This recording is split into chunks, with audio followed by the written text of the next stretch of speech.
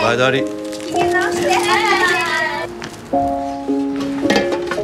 いらっしゃいこういう仕事一度してみたかったの力仕事なんですよずっと作ってきたのよもう50年もこれちょっと食べてみて何ですか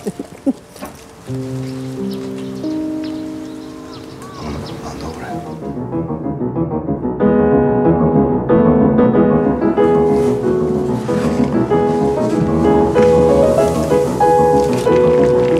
はいこれざるにあけてあずきざるにうん。そっちにあけて触りにあけて。一抱え。一一抱え。持ち上げて。はい。よしよし。頑張んなさいよ。はい。あずきに行ったのはいよし。よしよしよしよし。こんなの初めてです。美味しいよね。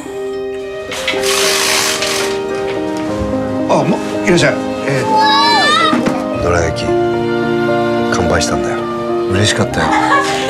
してたよ。ですね